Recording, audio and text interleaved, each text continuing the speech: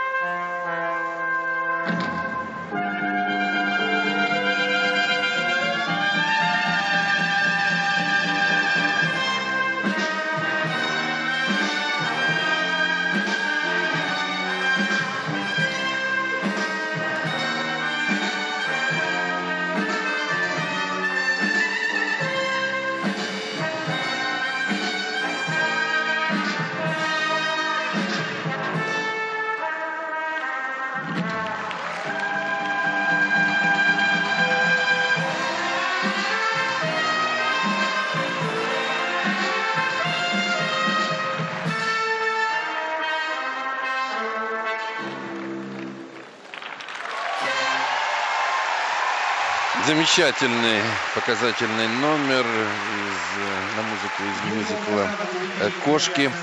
Ну вот, несмотря на неудачное выступление здесь, в Загребе, сами фигуристы не теряют оптимизма. И, как сказал Александр, на чемпионате мира в Канаде в марте будет уже совершенно другое выступление. И пожелаем им удачи. Тем более, что сейчас ситуация конкуренция в парном катании возрастает с каждым годом, о чем свидетельствуют и результаты этого чемпионата Европы.